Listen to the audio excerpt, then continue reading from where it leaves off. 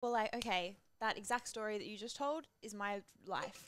Yeah, well, I don't know that much about either of your stories really, so I'll probe the questions in the right Oh, direction. I love telling it. Yeah, Yeah. no doubt. It's probably a good thing we don't know. But that's why you love what you do Yeah. because it's obviously had such a powerful impact on your life and well-being. Unrecognizable difference in my life. Yeah, Unrecognizable. cool. Hmm.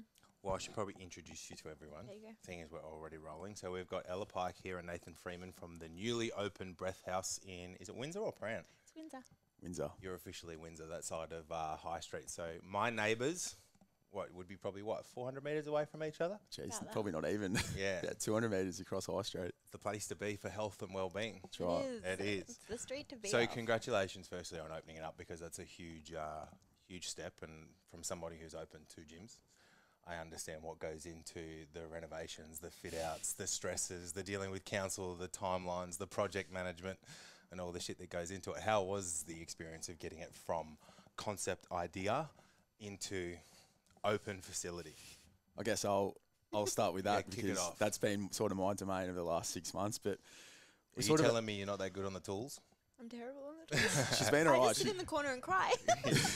Well, that's helpful. just stresses us all out, gets in the way. Yeah. Well, I'm not much help either. But no, we probably about six months ago we had sort of came up with the idea. Um, it was 130 days from the day we first had our sauna and discussed it to the day that we opened. That's where the idea originated from, from in the sauna. so it happened very quickly. That's a great thinking space, the sauna. It is. Mm. It is. Um, so yeah, we probably yeah six months ago, um, and yeah, found a space. We were very lucky. We found our space pretty quickly. Um, got in there, and yeah, then it was just like, a- as you said before, like almost just project managing Sparkies. Um, There's no almost about Chippies. it. It's a hundred. oh, it was project it was full time. Like we were almost working like we we're on the computer till one a.m. every morning, and then we're back at the studio at six a.m. letting the Sparkies in to go in and do their thing, and Mm-hmm. um, we're actually still getting a few lights and, and fittings put in today. now, so right now. I actually, I really like your red lighting. Oh, it changes. It's not just red dials. It's red. It's Okay. green. It's pink. It's whatever you want it to be. Well, I'm doing a renovation Mm. here soon. Yeah. And I'm gonna get your supplier for your lighting because I'm gonna add in our own sauna and ice bath in here too, which would be cool. It's amazing, yeah. So we we we didn't have any ideas about what we we had a sort of a, a framework about what we wanted the space to look like, but then our Sparkies, yeah, got us onto the company that supplied our lighting, and we were like, this is amazing. It's something different. It sort of adds just to like a whole sensory experience of what breathwork is, and you know, in itself, and and just to add like that external, like we're in a basement, so it's very like intimate. You're almost like in a cocoon. And everyone always thinks about like the basement. There's no lighting. There's no. I mean, there's no windows. There's no like sunlight. And everyone's like, oh, and everyone has the same feeling in their body, which I did when Nathan first sent me the link. I was like, no way.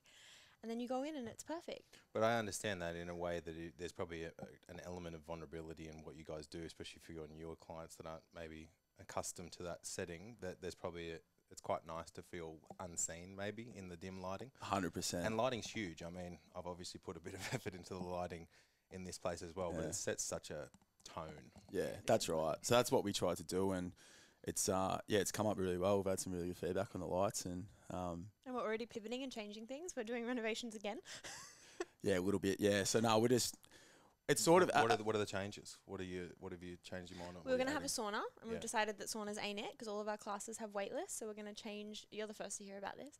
Um, yeah, we're going to change the structure of our classroom and turn our current sauna room into my one-on-one room, and then expand Nice. our cla- classroom. Well, that's your core offering. If that's, That's going to give you greatest ROI, Yeah. that makes sense from a business perspective. yeah, we we sort of thought it, our core business is breath work with the Breath Haus, um, and while saunas and ice bars, whatever, would be nice to have. It's not a need to have. Like we're our core business is breath work, and we solely focus on that. So we do have a sauna in there at the moment, but it's not.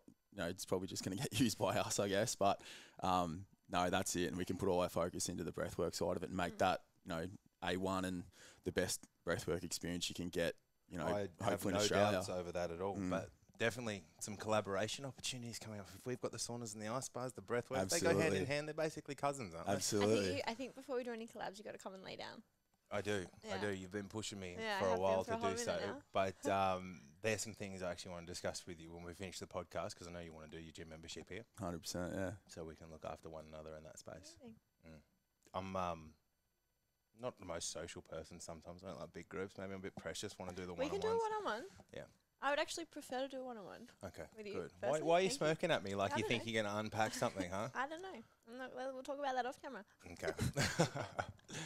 um, Nathan, I want to start with you, man.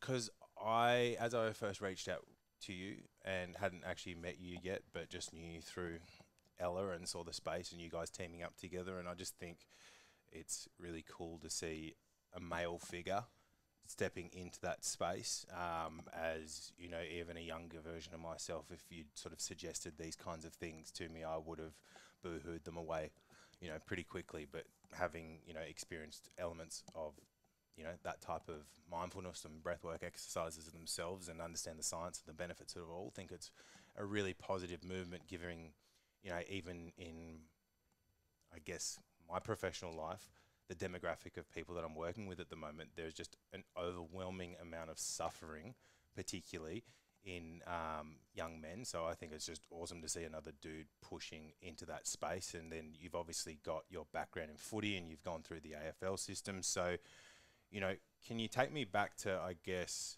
just what your journey's been in, obviously, from, you know, finishing your school studies, finding your way into the AFL system, no longer on the AFL list? No, no longer in the AFL. talk talk to me through about if you don't mind sharing about just the emotional roller coaster of that journey as well to how you found yourself where you are now.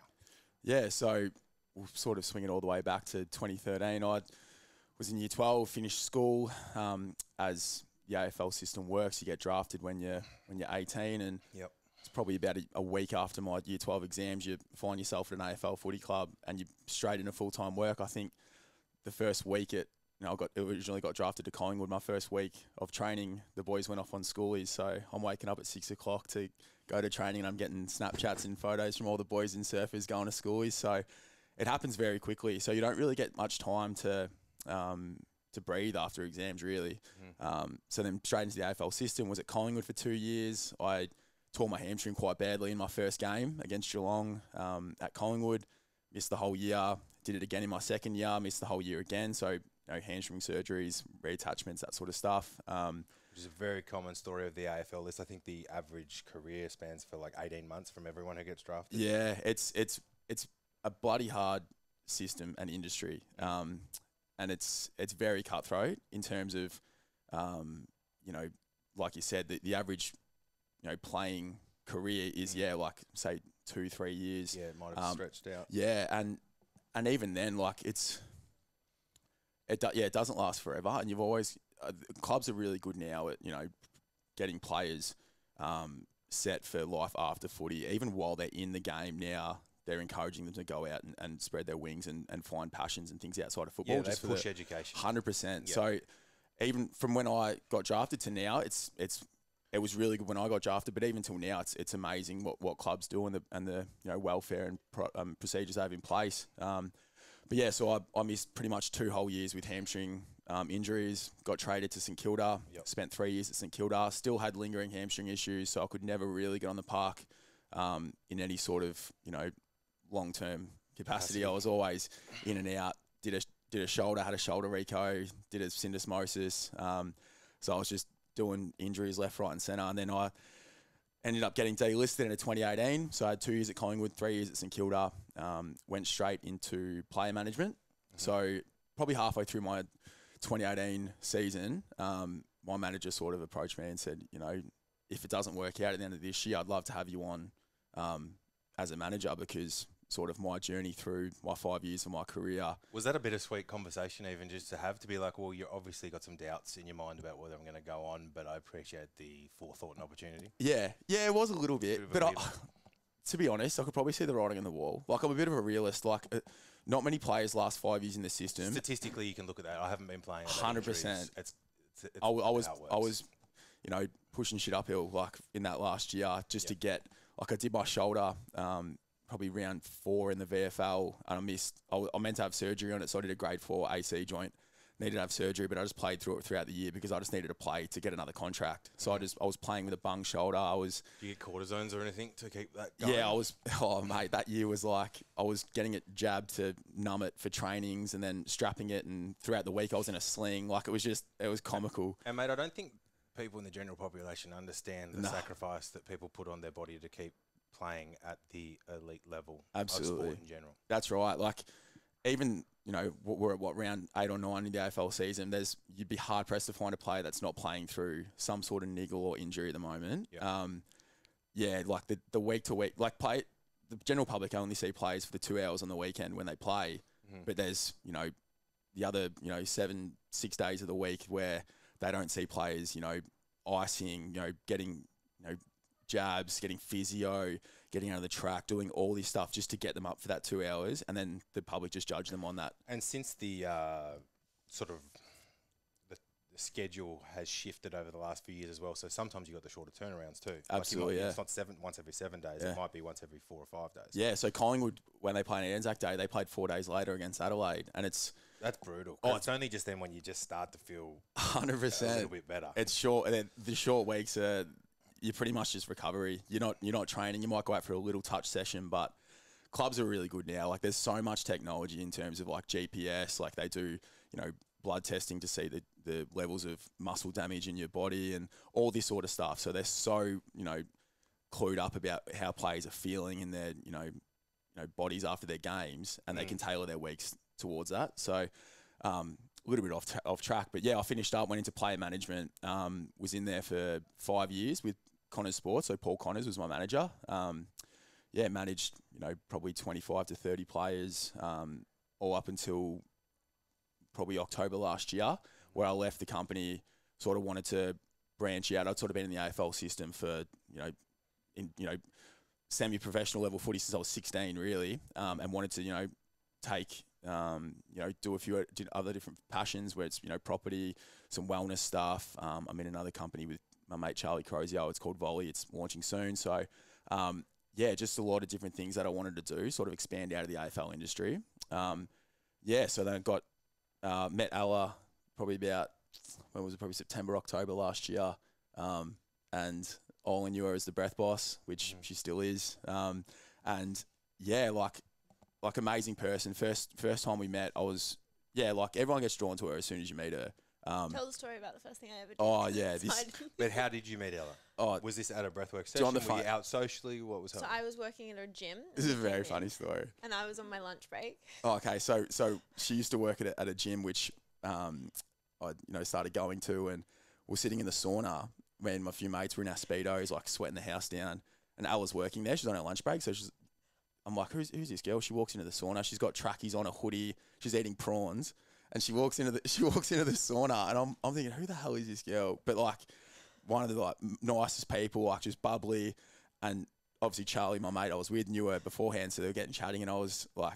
Eating prawns in the sauna. She was eating prawns in the sauna, which- so you remained in the sauna. She was With my stayed in the full sauna. tracksuit on Full prawns. you, you, you were tracksuit. just enjoying the um, The the visuals. Yeah. it was Okay, that's fair enough. Just- I can understand just that. the social social side of it, but yeah, Just having lunch. Yep. just having lunch, and then yeah, then we just became mates, and you um, started coming to breath work. I start yeah. So she pulled me and Charlie to a breathwork class one Sunday night, and like you were saying before, like I'm, you know, 28, 27 year old bloke. I'd never been um, exposed to the the spiritual transformative. Yeah, despite all of that kind of recovery, Yeah. you hadn't seen the. We'd, we'd, I'd done some um, breathwork stuff with a few high performance coaches in terms of but that's a different style. It'd be like hyperventilation to Yeah. try and amp up performance. That's right, Hyper arousal. performance, yeah. the performance side of it, which I really take to now. Like I love doing that stuff, um, but never the transform transformative side of it, which Ella is obviously the best at. Um, so yes, laid down, had no idea what I was getting myself into, and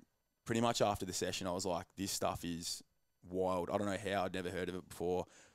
Blokes I know that you know ninety percent of the public or people that I know would never have heard of breath work Mhm. and knowing Ella, she's amazing at what she does, but I'm like, this needs to get out there Not more. very good at business. No, she's good now. She's very good now. But at the time, I was like, she needs to s- like, get her gift out to more people and hit more of the You can public. see the benefit of Hundred- teaming up together. 100%. So uh, we just got chatting, and then she'd obviously always wanted to eventually get a studio and her own sort of business, and I was in that sort of part of my life where I was, you know, looking for For your new ventures. yeah something to do, and it sort of just worked. Like we get on really well. It's sort of it's such a good partnership. Like her strengths are my weaknesses, my strengths are her weaknesses. It sort of just works really well. Good Um, balance. yeah, it's a good balance, and I think this with the whole breathwork side of it, um, like you said, it's blokes like us. We'd look at breathwork and, and what what's out there now. It's very, yeah, like woo woo, very you know spiritual oriented orientated. Whereas I look at it, I'm like, this is just amazing for mental health, performance, general population getting benefits out of it. I was like, why? Like, if we can tailor our, you know, offerings in our studio to those people who have never heard of it, let's get them in. And because everyone can, if you've got a set of lungs, you're, you're going to see benefit out of breath work. So, can you explain to me your thought process and your experiences in that first breathwork session? Like, what did you? You said it felt amazing. Yeah. It was amazing, but what happened? So I'd dabbled in meditation, in yoga, in some mindfulness stuff, but my my, my brain, and you could probably relate, goes at a million miles an hour. Like it, I, I never stop. I'm always thinking of something. Um, very active person, and none of those things ever clicked with me. I'd never seen much benefit out of the yoga. I could never switch off, but I found like after that hour, I literally woke, like not woke up, but I, at the end of the session, I was like, that felt like five minutes, but it was an mm-hmm. hour of like you're just so deeply meditative. I'm like, my brain switched off for an hour, and I find that now with a lot of the footy players that come in, they go, I- I've never like just had been still for an hour and had no thoughts and completely switched off. How Um, much of that do you think is just tied into, um, I guess, the commonality of like pleasure seeking and distraction because we're just surrounded by it? Yeah, hundred percent. Ella, Ella always drills it into me, and I, like by admission, like I'm no, I'm not the best at it still, but it's it's one of those things where you, you practice it and you get better at it, but it's that uncomfortable stillness of just you and your breath and the sound bowls and Ella's guided meditations and and guided breath work. Um, yeah, it's it's getting comfortable with being still, where I'd never, and a lot of guys can relate. We never have the time And girls. That And was me girls, too. That yeah. was my first experience. Yeah. I was like, fuck this, and then boom. That's right. So, So- tell me about your first experience because this kind of started with you, but you found breath work through a bit of personal suffering. to say the least. Um, no, I had a very lovely. My life was chaos, um, and I just spent my whole life from as soon as I could. Now I understand it as I always just wanted to control the feeling I was feeling, so I was always running from something. I was always numbing. I was always partying the hardest, taking the most drugs, the most Valium, sleeping, all that kind of stuff. Like I was that, I was that girl. And I moved to Melbourne, and I had my Britney Spears moment, which um, Is that a full breakdown? yeah, full nervous breakdown. Just to Ended up in a psych ward. Yep. I was running up and down Barker Street in Kew, trying to stab myself, trying to stab my ex, Did you laying in traffic. Yeah. Wow, this is a lot more interesting than I expected. yeah, full I would have loved moment. to see that. Yeah, it was interesting. There's a few people there that still hang out with me um, that laugh about it now. We all laughed about it the other night at the opening. I hear You- you stories come up all the time. I'm like, I'm not surprised anymore. If So someone still loves you after those moments, though, That's you, know, right. you know they're the real deal. Yeah, That's right. exactly, exactly. Um, anyway, so I, that sent me home to Byron, and that sent me through six weeks of talk therapy and unpacking the Home to mental. Byron, Byron's yeah. where you come from. So Byron, I grew up in Byron. Yep. Moved to Melbourne when I was 23. Um, so moved. I went back to Byron for six weeks. Found an unbelievable psychologist who helped me unpack the what, like understand and intellectualize why I was showing up the way I was in my life. Was that the first time you'd had a psychologist? No, I'd been in and out of psychologists since year four. But I think that's the um, that's the it's thing is, and a lot of people say finding the right person. Yeah, she instead of I would be telling her a story, and you know how the f- oh, I don't know if you guys know, but the first session is always like you just telling your life story. Out. And it's like, there you go, here. And then another hour is now the teenage years, and then this, and then that. And then this lady, her name's Jane, she was, she'd stop me and she'd be like, so the reason you show up like this now is because of this happened to you when you were younger. And I was like, what? And then she just helped me understand and she helped me put in like practices to like Isn't stop it myself. amazing how when you can connect the dots about where something's coming from, and now you just understand it, it just immediately takes air out of the tires. It was, and I came back to Melbourne and I was like, oh, I'm healed, rah rah rah, and I was all, I was, a t- I was a different person. I was, I Yeah, was different. I, it. wasn't like, I, I came off Xanax, which is the hardest thing I ever had to do because I was having like three or four a day, and breaks. yeah, Oof. every day, first thing in the morning with an energy drink, lunchtime, nighttime with a bong or with a joint or a glass of wine. Like I was, I Oh. was the most low vibrational person that there could have been. There'd be some um, I was like blurry memories well, of that yeah. time then, for sure. Yeah. Because And this is coming Zannies are like the men in black. Just Yeah. Boosh. But then this is also coming off two years before I, a year before I moved to Melbourne. I was in a coma in London with encephalitis.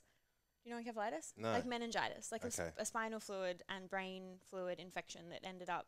They put me into an induced coma. So you So, were like, I burning really the needle, the or burning the yeah. at both ends. Yeah. So went came back t- from um, Byron where I found this unreal psychologist and I was all healed and I was all different and I wasn't doing all the things that I was doing and then we my ex and I broke up at the start end of 2019 and I went to buy more Zannies and my friends like try breath work and I was like shut up Maddie you've known me my whole life like don't try and suggest breath work But And isn't that the perfect example of how when things go bad, we go seeking pleasure yeah to I went straight replace to the that. happiness that's not there? That's yeah, right, I went yeah. straight to that. And then I had a Zanny one of the nights. I had half one and I felt amazing again. And then the next day I woke up and another friend from Melbourne sent me a full moon release, like a big breathwork session. And I was like, fuck, two friends in one, like 24 hours, I'll try it. And I laid down on my bed and it was on Zoom and I laughed my head off at the woman. Like we were in a group Zoom and I was just thinking, this bitch sounds crazy.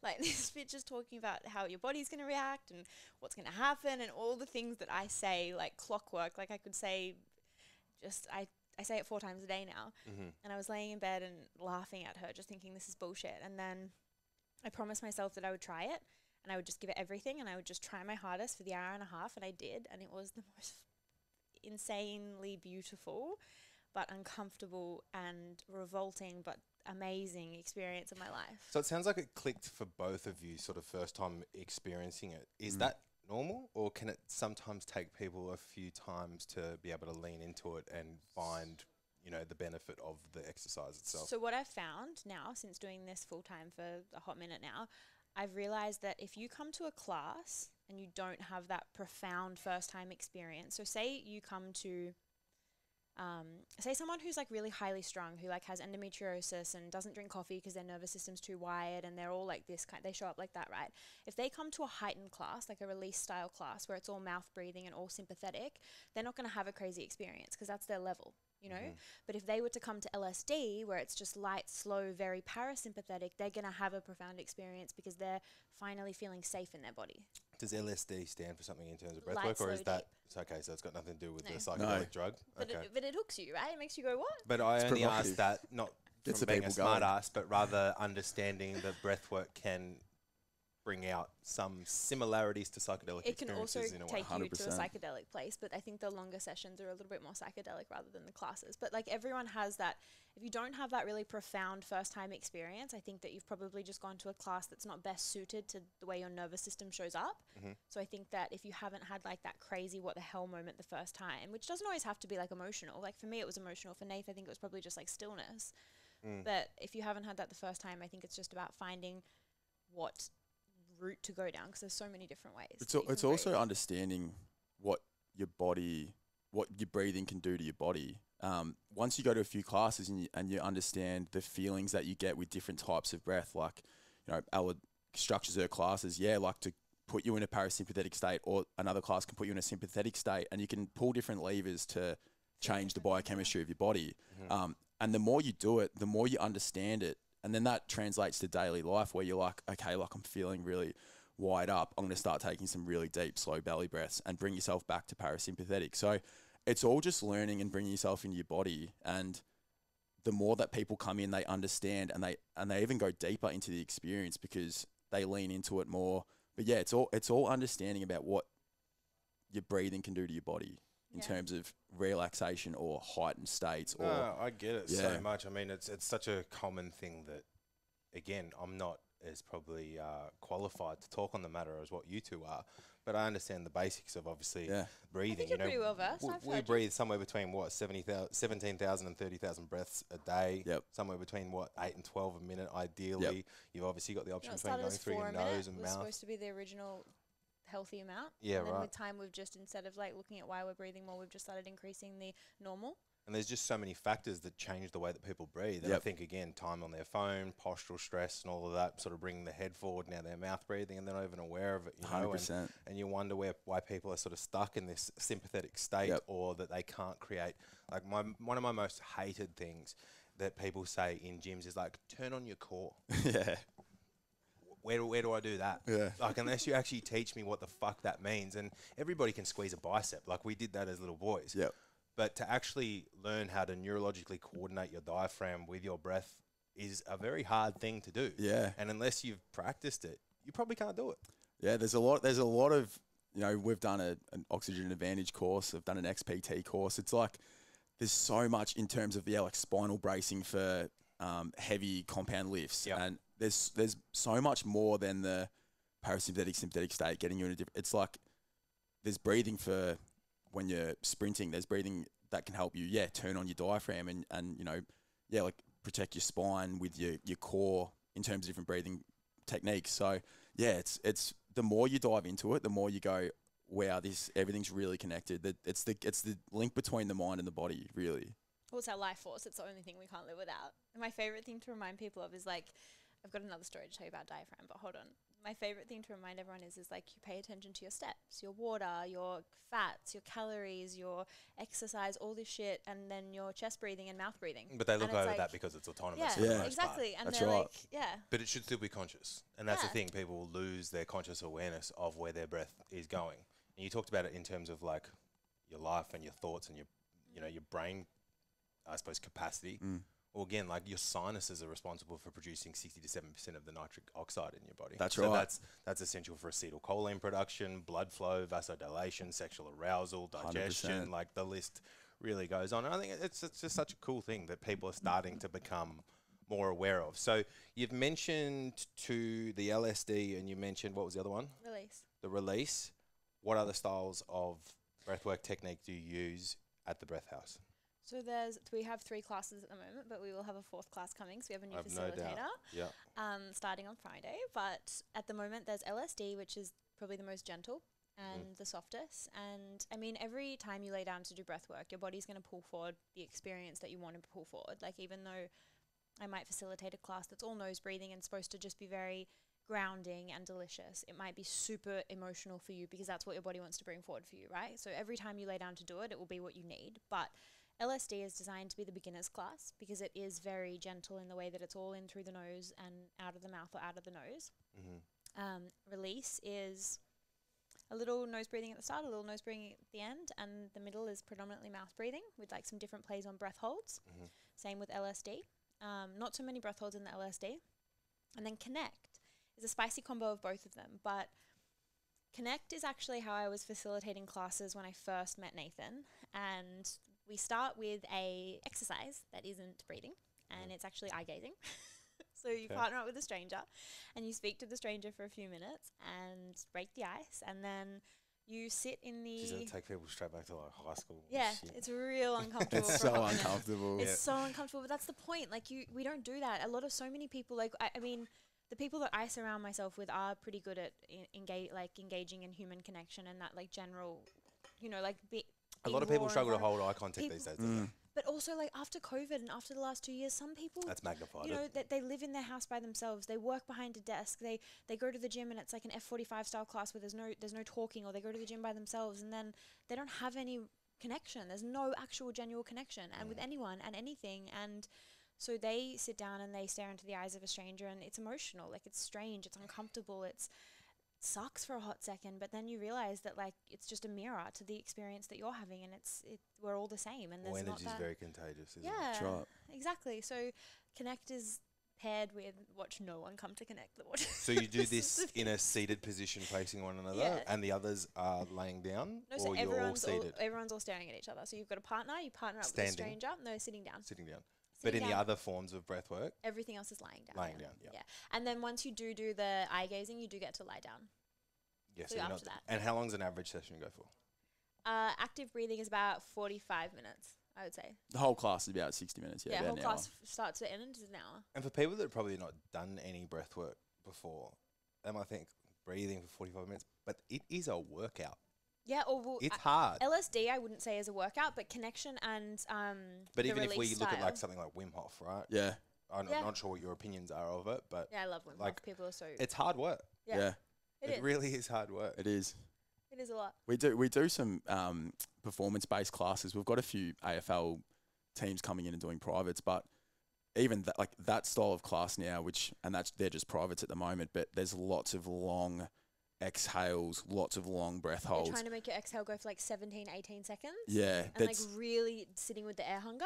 it's Yeah. really like and that sort of stuff is like increasing VO2 max, increasing lung capacity, increasing your tolerance to low CO2, uh, to high CO2, sorry, in your in your blood and your body. Um, so there's that side of it too, which is like that's a real workout where you're trying to It's a funny trick that plays on you, isn't it? Because Yeah. you get every single urge is like, I'm going to die. yeah, But you don't actually need the oxygen. that's right. It's it's it's putting yourself in a controlled state of stress Mm. where you know if you're Same In as an ice bath. That's right. If you're in a long breath hold for for two two and a half minutes, while you're in that breath hold, your oxygen levels are dropping, your CO2 levels are rising. It's the same as when you're fatigued at the end of a game, or you know you you're highly stressed and your breathing goes really shallow. Your CO2 levels are, are rising. Your your body's pumping full of CO2, and it's getting your body used to being like you said, being like. I'm, it's okay. Like I'm not going to die. Mm. Your heart rate stays lower. You don't get that heightened feeling of like I'm I'm stuffed here. It's like no, like I'm okay. Your body naturally breathes a bit deeper. You you get so much of that's to do with your internal dialogue. hundred percent. Like I, I was talking to one of my clients the other day, and their their excuse for what they hadn't done or something was something to do with drinking filtered water. Yeah. And I was like, "Shut the fuck up! it's not hard." They said it, they said, "Oh, it's just hard." So "Wh- what's fucking hard about going to the supermarket Yeah. and buying a box of cask water? If you say something's going to be hard, it will be hard. That's right. Like you have to be your own coach in those moments to be like, "I'm okay." Exactly right. Mm. Exactly right. It's putting yourselves in those situations, and then in terms of what we do, it's like just just sometimes doing things that you don't want to do, but then you don't. It, those practices don't get any easier. It doesn't get any easier to do a two You minute breath hold. stronger, yeah. It doesn't get any easier to jump in an ice bath for three No, minutes. It doesn't get doesn't. any easier to get yourself up off the couch and walk down to the supermarket and buy fresh groceries. But you just get better at it and you form habits and your body gets more resilient to those practices, Couldn't agree more. which just, you know, permeates into other areas of life. You become more robust as a human. couldn't agree more. So that's the thing. It's it's it's like choose your hard and then those hards get better and better. You get better and better. you just get used to doing hard things. Hundred percent, yeah. Normalise it. Comes this normal. is my favorite thing to gonna say? say? This is my favorite thing to say to clients, like at the end of a session or on the beach, I guess, when we do the free ice baths. It's like people come down and they get all excited about doing a free ice bath, and then no one goes home and has a cold shower, and they're like, "Oh no, cold showers are too hard." And then I'm like, "Okay, but do you get stressed?" Like, do you tell yourself that you're a stressed person? And they sit there and they all shake their heads. And then I'm like, so how do you think you're going to handle the stress of the outside world if you can't tell your body that you're okay in a cold shower? Like, what, what, how does that make sense? Like, if you can't sit in the cold shower and tell yourself that you're fine and understand that it sucks for everyone, but that's why we do it, then how can you expect the stresses in your life to just magically go away? Like, you, you get better at it. You get Mm. better at handling the overwhelming feelings. Yeah, and the stresses will never go. Like th- that's life. Like there's It's gonna gonna be, worse. there's gonna be stresses everywhere. Like you I literally almost can't. think enough, but there's too many people that don't have enough stress yeah, yeah, these days. It's like fuck, sensitive, and like your problem's are what you make them. Get Yeah. a real one. that's right. That's right. And it's you, you, you never run like things will things will always pop up. Life's always going to be a roller coaster, and it's just literally how, like you said, how you adapt to it, your internal monologue, the practices you put in place that permeate throughout your life, and things don't, you know, faze you as much. The stresses and the and the bad things. So I um, think the most beautiful thing about the cold, which is obviously a great environment to practice your breath work, is just its unique ability to snap people into the present. yeah, As you said, you're used to going a million mile an hour, but when you are freezing cold, it's very hard to think about what else is going on in your life That's other, than, other than being cold, try not to die in a nice bath. which kind of is that love hate relationship that maybe many of us form with it. Yeah. I love it. Yeah, I I, do too. I'm now. actually like I'm I'm a bit scared to get back into it because I since I've injured my knee for the for a while I couldn't bend my knee enough to get into my ice Yeah. bath and since then haven't returned to it. So I've enough times gone past where I've got that anxiousness and that nervousness Yeah. knowing that I need to go through. It's no different to having time off the gym. That's right. Your first two three weeks, everything sucks. It hurts. You get sore. You feel weak. You saw for a you whole feel week. you feel fatigued from the session rather than energized by it, and you got to get over that hurdle again. So it's going to be the same same thing with the ice bath again Yeah. soon. That's right. You've got to stick. You got to stick out these practices and like build those habits. Because yeah, like you said, you, it's like breath work as well. Like if the people that come regularly see the most benefits because they're always just teaching their brain. They're always keeping up to date. If you come for one class and then miss a whole month and then come to another class, it's like yeah, you're getting the initial benefits from the actual practice, but unless you put, unless you you know becomes cons- your Consist- consistent with it. Yeah. unless you're consistent with it, yeah, you don't you don't see those exponential gains. You're always, you know, you come to a class and then you slowly taper off, come to a class. But if you're coming regular, it's like the gym. You come and then you, it the more consistent you are, you see the results. So if you were to try and say to somebody like if there was a goal, what would their goal be for the session? Is it, can you can you put that as black and white as that? Well, I think that it's um I think that every session you come with a different intention. Like for me sometimes when I practice breath work, which to be fair I haven't been doing enough of it, but it's just sitting in the discomfort of staying still Mm-hmm. and like not moving and every single time my mind goes, "Oh, you have to do this." It's like, "No, come back to what you're doing right now." So that is sometimes the intention, I guess, but then also some people come because they want to release and they want to cry and they want to like sweat and feel high and like dizzy and not dizzy, but like that what's it called? Like I know a- what you mean though. no, when that, that like high feeling that, body you get in your tingle. body. You're almost yeah. like you're floating. Yeah. Yeah, it feels like you've taken a drug. Like I don't Mm. know what I do know a few drugs that it might be like, but I'm like it feels like you've taken a drug. Um, some people come with that intention of feeling that, and then other times people just come because they want the breath holds and the vibrations in their body, Mm. and some people want the after feeling, and some people want, I guess, the clarity that comes with sitting with themselves. Or so I do, guess do you think no there's a um, like I know that you said in your first experience that it kind of felt like it was five minutes and it went by and there was you know it was an hour of nothingness. But do you think there's a little bit of a a fallacy in the belief from the general population that whether it be meditations or breath work is going to be exactly that, like a Buddhist monk floating there with a thoughtless meditation? Because if anything, I reckon one of the most powerful things I've been taught is to just disassociate anything from good or bad. Rather, it is. is what if it your is. emotion, if you need to be sad, you need to be sad, Mm. and and that's not necessarily a bad thing. And you are, you know, your thoughts, and you are not your feelings, right? So rather, the opportunity, and when you start to understand, the subconscious mind has something like sixty thousand thoughts per day, ninety six percent of them being subconscious.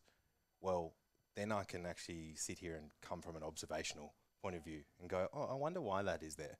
And then we can go through the fun exploration process of go, trying to connect these dots of where that thought originated from so that we can actually do something with that hard drive clean out. You know what I mean? That's right. Like we're, and one of the one of the cues that Ella uses in a in a sessions is like get curious about what you're feeling, get curious about the thoughts that come into your head because and also the thoughts and the feelings are all temporary. that's right. So you're sitting there and you're going, you're almost in not so, so much of an out of body experience, but you something will pop up and you'll be like, okay, like observe it, but it's not you. Don't It's get attached to it. don't get attached to it and and then you feel in your body and you go oh wow like my hands are starting to really tingle like just getting curious about that stuff because like you said like you are not your feelings like imagine them like clouds in the sky and they they fly away like it's like well, they're said not real. Fear and excitement is the exact same thing. that's right that's right it's it again it comes back to like the internal dialogue of what you're telling yourself Yeah. um it's a choice. that's right. And and we find in our practices at the Breath Haus, like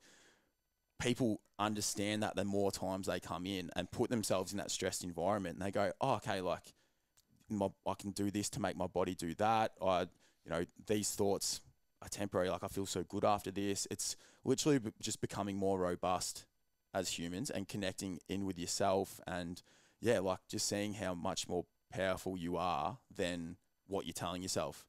And also another thing, coming back to the Buddhist monk comment, I just have to talk about one thing. People, I think, have this idea that like breath work is going to be chimes and like sound bowls, which sound bowls, don't get me wrong, I love a sound bowl. And We a do DJ love a sound bowl. Mm. Um, but it's not like what you think it is. It's like you. The one of the most common messages that I got from like the first big bulk of people that would come and they were just like absolute crazy breathers was always the playlist and always the music. And they were like, I didn't expect Jay Z and like I J do Cole and believe that everything. you've actually stolen some of my music. in the past. I have, I have, Mm, I've got some thank of your you. mushy um, playlists. Oh, actually, thank you throw very me much. I under. do. Oh, yeah, wow. there you go. Shout It's been a while since I've done mushies, Yeah. actually. Well, I've, I've got some of your playlists from there, but but like people have this like idea that it's gonna be all, ooh, and it's not. You lay down and I'm playing Love Yours and bloody. Yeah, like- it's very cool. Like It's- that. That's one thing that we really wanted to we don't want it to be like that whole Cliche. mm, yeah. Yeah. We want it to be like the perfect mix of me being magical and metaphysical, and you can't put words to it, and then Nathan being like Yeah, very fem, you know. we're, we're finding a lot. A lot of guys are coming in now, and it's it's sort of Last night's I've actually mostly got um, Yeah. so my co-host for my other episodes of the podcast and good friend Mikhail Yahaya. So he's a black belt in jiu-jitsu. Yep. And I was talking to him the other day when we are recording, and we're doing another one this afternoon. So we're going to try and get a couple of the jiu-jitsu guys, and we'll come down for our first session. awesome. Ah, and- and then let me know when you want to do one on one. I will. Yeah, I've got a will. good playlist for you. I believe you. I believe you. Yeah, it's it, it's just like I, I sort of looked at the industry from an outsider and gone, it's very like, it's very niche where a lot of um, breath work and you know other companies or facilitators or whatnot. It's niche, but it's also very broad Yeah, it's because you're for everybody. that's So right. You said it yourself. If you got a set of lungs, That's and that's what we really play into. It's like we we obviously love our, our you know the diehards, the people that are into breath work. They love it. They're really highly spiritual. But then it's eighty percent of the population, like me and you, or people who've never heard of breath work. It's like okay, like it's not this Buddhist monk. We're not sitting there, you know, meditate. It's like come in. It's you and your body. It's whatever. You, like we're just sort of like normalizing it, making it a bit more mainstream. Not just hoo ha. Yeah, just not making it as Not scary. that I don't love hoo. I'm hoo ha through and through. Yeah. everything has a time and a place. That's right. Exactly. But it's it's it's it's reducing the barrier of entry so people look at it and go, okay, like I can see um, Jack going down and doing a session. I can see an AFL footballer going down and doing a session, and they go, okay, like It knocks down some of those. this is for stigma everyone. Yeah, it's Yeah. not it's not just the you know the hippie-ish type people that you know which we love, but it's Not the Byron Bay. not the Byron not Bay, Bay. not the Byron Bay spiritual tarot Barefoot cards, but yeah, that's right. That's It's funny. yeah, it's it's it's uh, making it accessible for everyone and making it yeah normal. No, that's really cool. Do you so know what I wanted to talk about before that I'm going to interrupt you and say No, because that's I fine. really want to share it because I always forget to talk about this. The reason, like the second that I knew that this is what I had to do with my life was I had this client and she was actually one of my first lash clients when I first started doing lashes.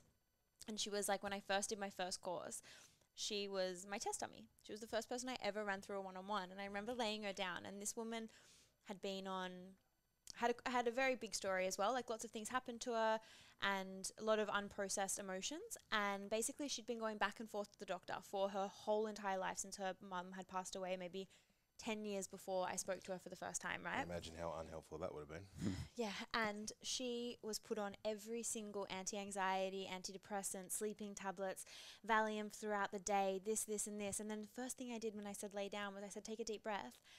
And she just went, and I went, no, take a deep breath in through your nose into your belly. And she went, and I was like, breathe into your belly. And she's like, I, I am. And I was like, no, you're not. And no one had ever looked at her breathing. Like, she I went back it. and forth to the doctor, which I know you know because you have the same opinions as I do about this kind of crap. But, like, not crap, you know what I mean? But, like, she sat there and she just, and I taught her how to breathe into her belly. And she is unrecognizable now. She's not on anything. She now has her own breathwork studio, Mm-hmm. uh, like, not a breath, but like a, like a wellness little studio. And she's now a facilitator as well. And she's completely changed careers Yeah.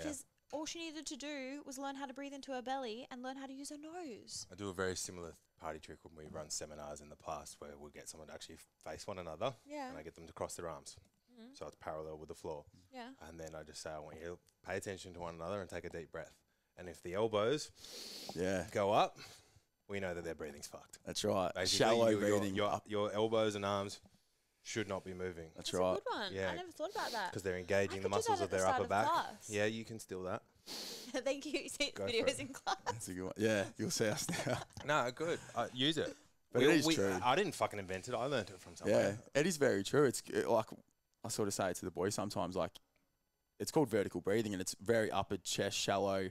Whereas you want to breathe outwards, like you want to expand your ribs and your diaphragms. Like it's Mhm. putting your hands under your ribs and It's exactly trying to push your hands out. No I, ex- I teach that. people with um, weight belts, right? So you see a lot of people in gyms with weight Yeah. belts. I'm like, weight belts don't keep your back safe. Yeah, It's just like I said, the connection between your brain and your diaphragm can somewhat be, you know, a little bit compromised.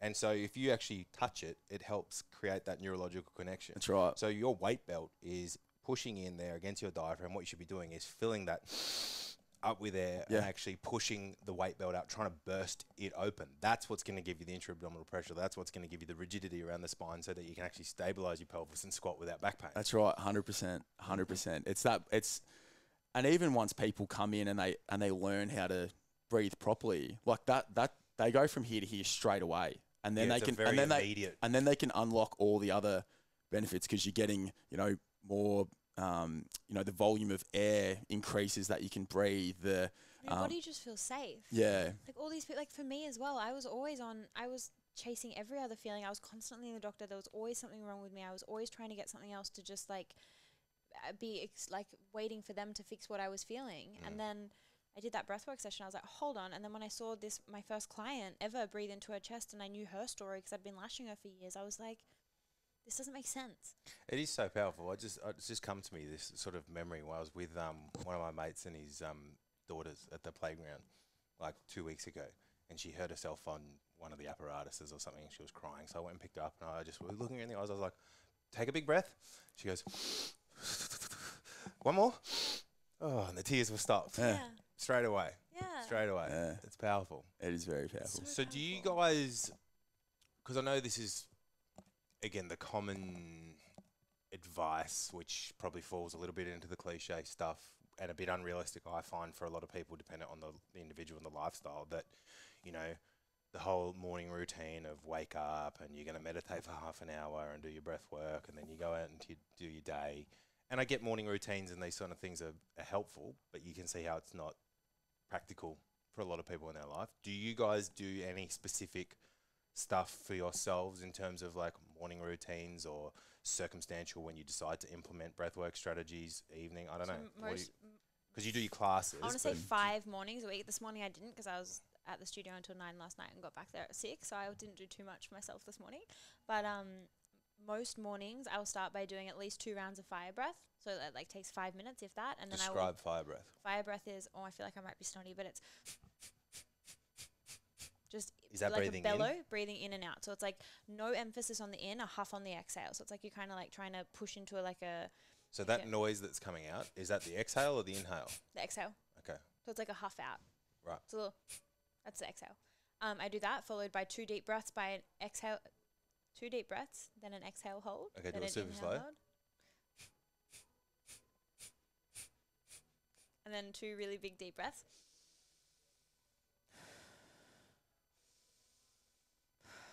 And then hold on the exhale for my max, and then hold on the inhale for my max, and then I'll And get then into return a shower. to the, then I uh, do the bellows again. And how many of them do you do? Fifty. Yeah, cool. Takes me five minutes, not Yep. even. And then I get into a cold shower. But the cold shower always starts hot and then ends cold. Yeah, no, I do the same. Yeah, and so I do that most mornings. I feel like the memory just came back. I remember we did that fire breathing in the sauna one time before I went oh, to then that I first nearly class. passed out. Yeah. It can be intense, the fire, well, not fire breathing, Yeah. but just any I breathing in the sauna because of just sometimes how hot it gets Yeah. in the sinuses. Yeah. We were in the we were in the sauna with our best friend and Nate's business partner, and I was sitting in between both of them, and we were doing fire breath. And I did like I think we were maybe onto our third or fourth round. I did my exhale hold for the max effort, and I just remember coming back, and I was like, I have no idea where I am. I was like thinking to myself, it's all right, you'll come figure it out in a second. And I was like, I have no idea where I am. It's getting very competitive. And then I was In the like, breath and holds. then, You don't want to pass out in a sauna, yeah, Oh, man. and then I was no like, oh, okay, I'm hot. And then I like opened my eyes and I got straight out, and I was just like laying on the floor. I was like, probably pushed it a bit hard there.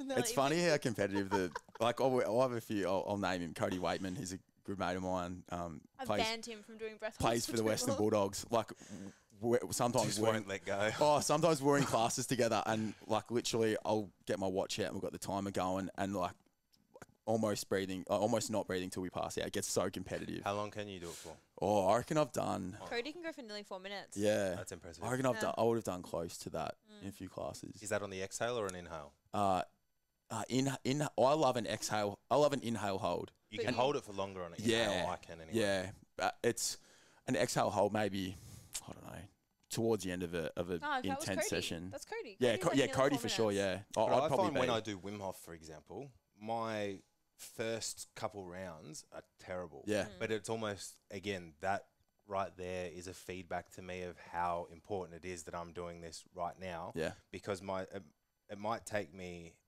three or four rounds to get anywhere, yeah, and then once I start stretching into sort of five, six, seven, eight rounds. Like it really exponentially turns up for me where I'm sort of breaking into the three minute marks. But the first two or three, Yep. I'll be struggling to get past a minute and a half. You're almost waiting for your body to drop into the, the, the feelings and the and it's just priming your body up for those breath holds. And for women as well in their cycle, their breath hold capacity changes with their cycle. And I wouldn't ever suggest to do anything hectic when they're bleeding. It's just not it. Your body's already Well, too that's your body's heightened. under stress, so that, Mm. that makes sense. It's and enough. Like, that's like typically very slow, delicious breathing when you're doing that. which is usually nutritionally why w- I will tell women that when they start menstruating that that's typically when they can tolerate a, a few more carbohydrates as well Mm-hmm. because there's going to be an inverse relationship there between the insulin and the cortisol. I actually only learnt about my cycle at the end of last year, and I've started to actually live with my cycle, and it is life changing. Not just living in like this masculine driven world and like being like, okay, no, I'm not doing that on today, and I'm not doing that now, and I'm ovulating now, so let me go. Yeah, I'm always learning more and more about it, and it's it's fascinating. Some of the, one of the more recent ones that I've sort of connected the dots with with um, women and their menstrual cycles is sometimes that unilateral work is actually not going to be What's unilateral work? like single leg. Oh yeah, okay. right? So stuff where you're going to get a lot of rotation through the sacroiliac joint of the pelvis Yeah. and stuff can be aggravating when estrogen's really high.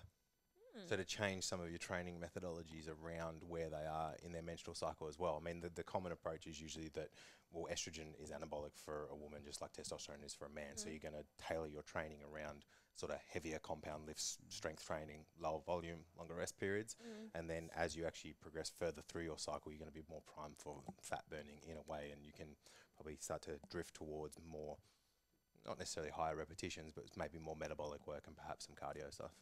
I hope that with time, this is just like something that's really normalized between women, like understanding their cycle. Because at the moment, I say it to some of my girlfriends still, and they're like, "What do you mean?" Well, some of the stuff science doesn't favour women. Like so many of the clinical studies on anything are always done on male subjects, Mm. um, and we are profoundly different in many ways. So yeah, for sure, for sure. One of the other things I think is really cool about the breath that the listeners should um, would appreciate hearing about is like the connection to your breathing and probably. I don't know if I'd say your immune system, but rather the likelihood of you getting sick or having allergies, right? Because the nose is, is a filtration system. Mm-hmm. Okay, it's taking out the air pollutants. It's actually mm-hmm. heating up the air in the sinuses for you to be able to breathe. Whereas if you're breathing through your mouth, you're obviously bypassing that full filtration system and more likely going to get pollutants and tonsillitis and mm-hmm. bronchitis and all these kind of Dental hygiene, type- everything. Yeah, Yeah, for sure. Yeah, it's it- that's you hit the nail on the head. The, the nose is a natural filter for the body, and we always Our nose is the most underrated organ ever. that's right. And and and we always say like mouth breathing while sleeping is probably one of the like you sleep for what eight Yeah, hours we haven't day. even spoken about mouth. Yeah, it's it's like it's if you can breathe through your nose for your eight hours of sleep, it's you, your body's getting you know better quality air because it's getting filtered through your nose. You're getting um, more REM sleep. more REM sleep. It's deeper. You're getting more volume of breath um, into your body. It, you're more parasympathetic, which is obviously the rest and digest. Um, it just sort of like flow. It flows on like it's so underrated. You like nose breathing, especially during sleep. And the connection there, the thing that I like with the, the REM sleep, right? So we're, we're connecting dots here. So you're breathing through your nose, you get more REM sleep.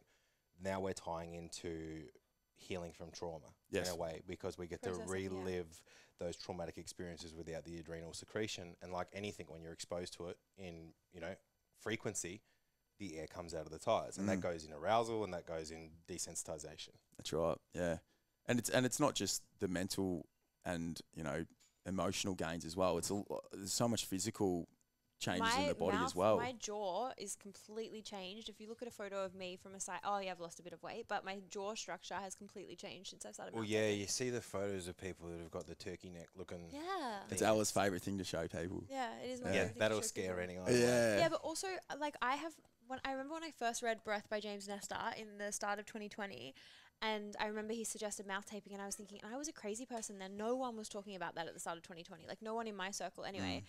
I mouth taped the first night, mm-hmm. and I thought to myself, I'm not going to be able to sleep with it on the whole night. And from my like little Britney Spears moment to then finding breath work six months later, and then finding mouth tape like another what a month later maybe. I still was having a lot of trouble sleeping. Mm. The first night that I mouth taped, I slept for like eight hours without waking up. And I used to tell myself I had to go to the toilet like three times Yeah, a a lot night. of people but I need just to piss wa- more because Mm. they're breathing through their mouth. Yeah, literally. And I just I slept, and I was like, holy shit, this is like having a sleeping tablet. I wish I found it a lot sooner because these days I sleep pretty well and breathe through my nose. So when I've taped my mouth, it hasn't really Yeah. changed much for me. Yeah, but, But have if you I look a back- difference? Not not so much, but if I did it, let's say four years ago, when I was probably ten kilos heavier and had a neck or didn't have a neck, and was probably snoring and getting apnea and stuff, I probably would have noticed the profound effects. Necklace days build character more. though. Hey, they build character on necklace days. what are you When- talking about? When you don't, when you're like a little bit Necklace chunk- days. Yeah, when you don't, when you're a little bit chunkier, so you don't have such a neck, so you couldn't really be funny. Yeah, it was. It was. It's got to be It was. It was character thick. building. yeah, no, it's uh, it's it's a, it's crazy how, and we we get all our mates to do it now. yeah, all my friends Um, mouth tape. Yeah, and And people still think you're crazy. Like I'll send clients in, like like after they've done a one on one, and I'll be like, "Okay, cold showers, you're mouth taping, and you're doing this, this, and this." And they go into the chemist, and they're like, "Oh yeah, I just need mi- micropore tape." And then so many They messages. don't realize that you don't need to do it like you're fucking kidnapping someone. that's Yeah. right. Just Yeah, got to put a little bit, yeah. just like a The little tiniest bit. reminder. But but they always go, "I'm just gonna get the pharmacist for you to just have a chat about that." And like, Oh yeah, I heard you mention that maybe recently. What? Be- because someone said, "Oh, I'm I just want getting to it take my for mouth taping to, my yeah, mouth." to sleep, and then they, literally they take them to the pharmacist and make them unpack what they're doing because they're worried about their safety. Yeah. I think it's so funny. I- I've had the same thing when I've because I I get a few sinus issues. Sometimes I've been hitting the nose a lot, yeah. and I get so buy a nasal spray. I'm like, mate, I'm not cooking drugs out of a fucking nasal Yeah. spray. I just don't want to have to come back all the time. Let me take a couple, Buying five nasal sprays. Yeah, exactly. Yeah, They won't let me take more than one at a time. yeah, yeah. No, we find it's it's pretty common amongst you know guys our age, especially like sports people and athletes. There's we see a lot of like sinus issues, been hit the nose, like nose recos and broken noses and stuff like that, and yeah, we see a lot of that, and and it's teaching, and and then that just sort of you know hab- habitually makes guys mouth breathe more if they've had trauma for their nose, Mm. um, and so it's teaching them to get function back to their nose and breathing and get them back into that state. It's one. Of, it's part of the um, one of the things that I've sort of learned to love about jujitsu since I've sort of made that transition from like really heavy weight training and still doing some strength stuff, but you know it wasn't serving me. So going into the jujitsu space, and I remember when I first did it, like any time that your skill is inefficient, you're going to chew up a lot of energy. Yeah. Plus, you know, there's a fairly big aerobic component to it, and Ivan would be like, "Shut that fucking mouth." when Yeah. we're like rolling together, I'm here breathing, and now you start to realize, you know, after you've put a couple of years in, and you're just, it's all about just composure. And Yeah. they, they, they nickname it the Brazilian guys. They call it like yoga for tough guys.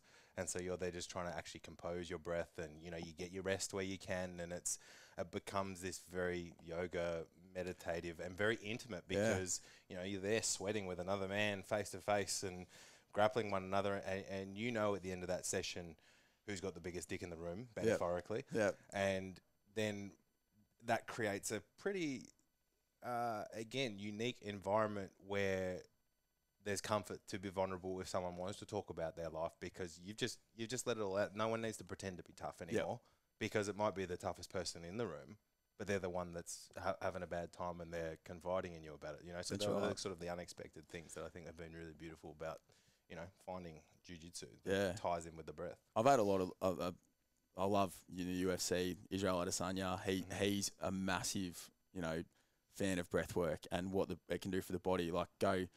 Yeah, well, know, I was he's, he's kind of like your modern fighter. You yeah, know? he's your modern fighter, but again, like you say, it's like the nature of fighting or whether it's grappling or whatever. It's so combative. It's very mask. It's very you know, go go go. But yeah, the toughest guy in the room the is nicest guy. is the nicest guy and the guy that's most centered and the most in tune with his body and in tune with his environment.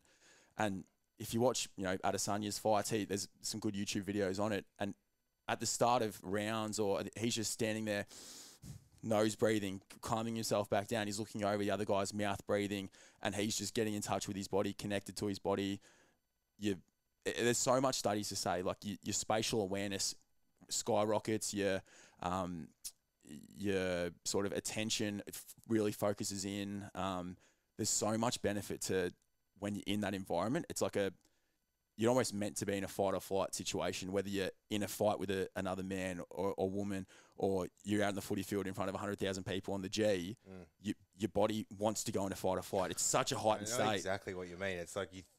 How many times when you think you're tired and you're fucked, Yeah, that you're actually not. yeah, It's just what you're telling yourself, and if you can get that, it might take you two or three breaths to get that first full one in. Yep. But once you get the full one in, you're like, oh, I'm actually all right. That's right. Yeah, You it, br- it brings you back to your surroundings. It grounds you, and like I said. the lactic before, acid disappears a bit. that's a big. That's actually a really big part of, of a few studies I've been looking at where the lactic acid buffering in terms of your Mhm. breathing, like everyone talks about as athletes, like hitting the wall is so common where you're just so stuffed in what you're doing, but that's because your body's not getting as much oxygen, Oxygen, yeah. to flush out those acid buildups in in your muscles. So there's heaps of that. There's there's studies to suggest that you know EPO production following a strong breath hold class is skyrockets for the three hours post, and that's obviously you know your body's ability to produce red blood cells, transport oxygen around the body, um, and people think of EPO and all these types of things, and it's like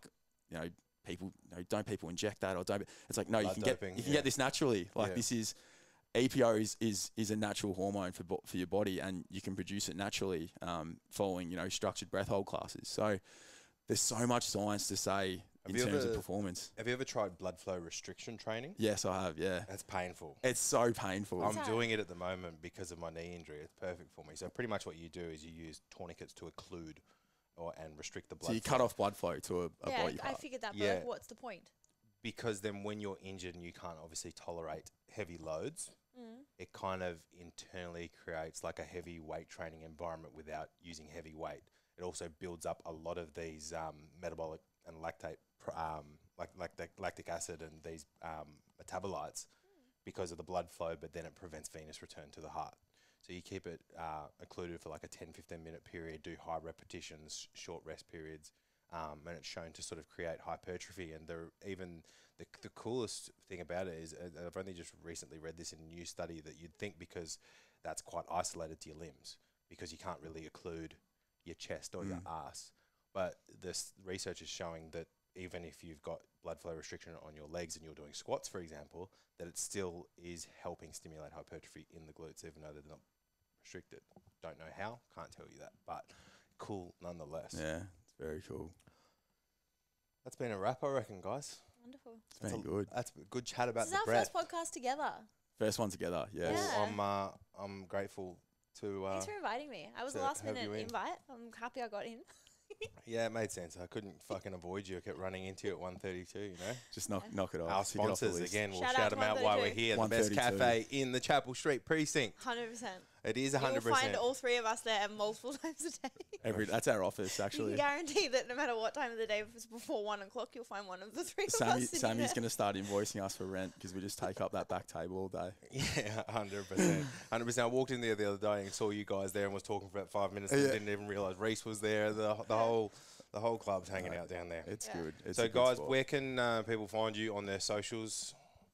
Uh, Breath on the Breath Haus I'm underscore And that's, and that's House H. H A U double S. A. House. Yeah. Oh, It's the not double A. Yeah, it's very German. Yeah, it's yes, very German. H A U S underscore on Instagram. Um, the Breath Boss. I'm just Nate Freeman 10, my individual personal Instagram. But yeah, you'll find us at the Breath Haus. I'll put them all in the show links, guys. So give them a follow, and I would really appreciate it, given that I've just relaunched the podcast and putting a lot of effort into it. That if you like our shit, please like and subscribe on all the platforms, being Spotify, Apple Podcasts, and YouTube. I want that YouTube money. All right, ciao. That's a wrap. Good job.